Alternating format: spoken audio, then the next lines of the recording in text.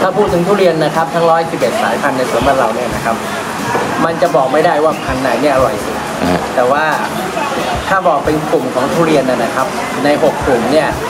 มันก็จะมีพันธุ์เด่นในแต่ละกลุ่มออกมา เช่น ถ้าเป็นกบเนี่ยนะครับ พันธุ์กบกลุ่มของกบเนี่ย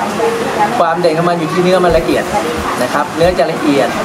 แล้วก็มีความหอมความหวานที่ต่างกันไปในแต่ละสายพันธุ์ เพราะฉะนั้นคนที่ชอบกบ ก็คือชอบความละเอียดของเนื้อ แล้วก็จะชอบกลิ่นหรือว่าความหวานของกบตัวนั้น เช่น ถ้าบางคนชอบเอ่อกบหวานๆก็จะชอบกบกล้วยอย่างเงี้ยครับครับกบทองเพลงนะครับ หรือว่าถ้าเกิดบางคนชอบกลุ่มก้านยาวก็อาจจะชอบพวกก้านยาวหรือก้านยาววัสดุพวกเนี้ยครับเพราะฉะนั้นความชอบเนี่ยขึ้นอยู่กับ แต่คนที่เขารับประทานนะครับว่าเขาชอบรับประทานแบบไหนคือแต่ละสายพันธุ์ก็เนื้อจะมีความเด่นต่างกัน มีความแตกต่างกันครับจะเรียกมีหกกลุ่มครับครับ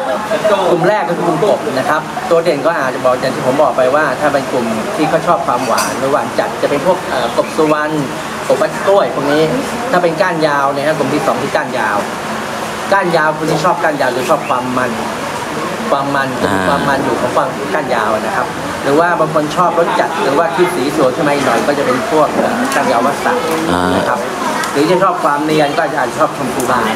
ซึ่งอยู่กลุ่มเดียวกันอ่าครับกลุ่มที่3เนี่ยคือกลุ่มรวงกลุ่มรวงตัวเด่นก็คือชะนีถูกไหมครับนี่มันมีทั้งรวงพาเมล็ดมีทั้งยำมะหวานครับตัวเนี้ยอยู่ในกลุ่มนี้ครับเพราะฉะนั้นถ้าคนชอบที่เอ่อรสชาติไม่ไม่ไม่ไม่ไม่หวานจัดหรือว่าไม่ชอบกลิ่นแรงก็อาจจะเลี่ยงไปกินพวก ชนิดตาลทราย อาจจะไปยำมะหวานหรือชมพูสีนะครับกลุ่มอ๋อนี้แล้วชะนีไข่นี่ชนิดไข่ชนิดจริงๆมันเป็นชนิดเดียวแหละ แต่ว่าเขาปลูกคูไว้เยอะๆมันก็เป็นชนิดไข่แต่จริงๆอะชนิดคือชนิดเดียวอ๋อใช่ครับเขาคือชะนีกับชะนีไข่นี่เหมือนกัน เหมือนกันถ้าเป็นเป็นพันธุ์เดียวกันชนิดเป็นพันธุ์เดียวกันอ๋อครับ และอีกถัดไปอ่าฮะนะครับก็จะเป็นกลุ่มของทองย้อย ทองย้อยกลุ่มที่เด่นๆจะเป็นพวกเอ่อเนื้อฉัดครับฉัดสีทองครับหรือว่าเป็นเอ่อนกหยิบก็อยู่กลุ่มเดียวกันอ๋อนกหยิบอ่าใช่เพราะฉะนั้นตัวนี้มีความมันอ๋อแต่ว่าไม่ได้หวานจัดนะครัครับบจะมีความมันเป็นเอ่อเป็นเป็นทุเรียนพันธุ์โบราณนะฮะครับบางคนก็อาจจะอาจบางคนชอบนกหยิบนกหยิบเขาจัดในอยู่กลุ่มเดียวกันอ่าฮะอยู่กลุ่มทองย้อยอ๋ออย่างเงี้ยครับอ๋อแล้วก็อีกกลุ่มหนึ่งนะครับกลุ่มอ่าเมื่อกี้ผมบอกกลุ่มเอ่อกบ ครับก้านยาวครับ รวงเอ่อกลุ่มที่ห้าคือกำปั่นกำปั่นกำปั่นเนี่ยถือว่าผมลองละ เป็นกลุ่มที่เขาเอ่อมีพันธุ์เด่นก็คือหมอนทองอ๋อหมอนทองอยู่ในกลุ่มกำปั่น หมอทองคือกำปั่นนะครับปลูกพัฒนาพันธุ์มาจากกำปั่นนะครับอ๋อ กำปั่นน่าจะหมอนทองที่เรากินปัจจุบันนี้ก็คือพัฒนาพันธุ์ให้เป็นมาจากกำปั่นใช่ครับเพราะฉะนั้นแสดงว่าบรรพบุรุษของของของหมอนทองก็คือกำปั่น อ๋อ ใช่ครับครับใช่ครับบรรพบุรุษของชะนีก็คือรวง อ๋ออ๋ออ๋อครับ หรือว่าการบรรพบุรุษของของกบเป็นการละเอียด อ่า แล้วบรรพบุรุษของก้านยาวเนี่ยก็จะเป็นตัวทองสุกอันนี้จะเป็นผมจะมีต้นที่เป็นต้นตระกูลอยู่ ครับ ก็คือมีสตอรี่ของมันอ่ากันนะครับตัวสุดท้ายคือเบตเตอร์เล็ตนะครับเบตเตอร์เล็ตมีเยอะมากมีทั้งที่สวนมีทั้งหมด8ถึง6เบตเตอร์เล็ต อืม แต่ตัวที่เด่นที่สวนที่ขายดีมากก็จะเป็นพวงมณีพวงมณี ใช่หรือว่าหลินลับแลหลงลับแลพวกเนี้ยอ๋อใช่ครับจะอยู่ในกลุ่มของเบตเตอร์เล็ตครับพวงมณีเนื้อจะเอ่อความเด่นของมันอยู่ที่เนื้อและกลิ่นมาก ครับและกลิ่นไม่แรงอ่าสีสวย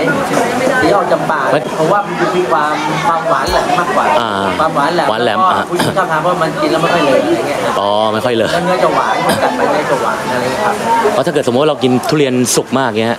มันจะมีมันจะเราจะเอ่อแก๊สเยอะ ถ้าถ้าเราพูดเทียบง่ายๆ ถ้าเรากินชะนี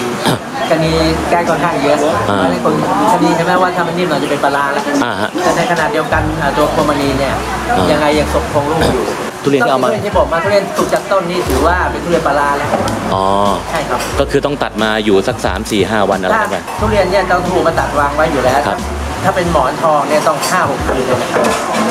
อ๋อหมอนทองกับก้านยาว จะเป็นเอ่อชะนีหรือว่าพวกกบเนี่ยประมาณสองสามปีครับผมเห็นมีสติกเกอร์ติดอยู่ทุเรียนแทบทุกลูกเลยครับอ่าสติกเกอร์เนี่ยจะเป็นตัวที่เป็นดีเทลเป็นรายละเอียดของทางสวนนะครับครับ มันจะมีเอ่อรหัส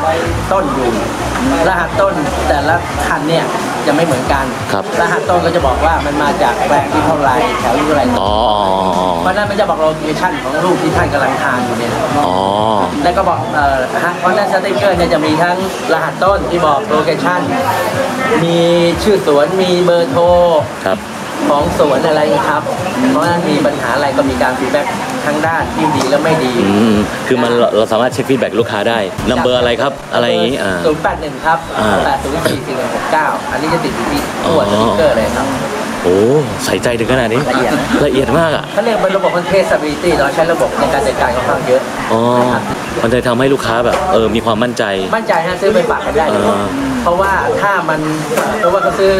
กล่องหนึ่งไปส่งให้อีกคนหนึ่งญาติเขาต่างจังหวัด ครับ ลูกค้าเขาสามารถแจ้งมาให้ผมได้ว่าทุเรียนที่ส่งไปฮะดีหรือไม่ดียังไง ครับ เราสามารถเคลมโดยตรงกับลูกค้าคนนี้อ๋อนี่คือที่รับเคลมได้ด้วย อ่าครับรับเคลมอะยกเว้นว่าเราแกะทุเรียนเนี่ย ไม่สุดไม่ไม่ไม่ถูกต้องเองอ๋อ แต่ว่าเมื่อเราบอกแล้วว่าทุเรียนต้องหอมเท่านั้นยกเว้นชะนีอย่างเงี้ยครับ หมายถึงทุเรียนทุกสายพันธุ์ทุกยี่ห้อคือต้องหอมถึงจะแกะกินได้ ใช่ครับ ยกเว้นชะนีชะนีต้องปลูกคอเพราะว่าอ๋ออ๋ออ๋ออ๋อชะนีแต่แต่แต่ชะนีเออคือไม่หอมแต่กลิ่นแรงกว่าเพื่อน อ่าชะนีไม่หอมแต่ว่าแกะพอดีจะอร่อยมากอ่า ถ้าแกะเลยไปหน่อยจะนิ่มอะไรเงี้ยครับเออแจ๋วแจ๋วครับโอ้ยอันนี้ได้ข้อมูลโอเคครับครบถ้วนเลยครับ เดี๋ยวกระทัวร์กำลังมานะฮะ Nerdist.com.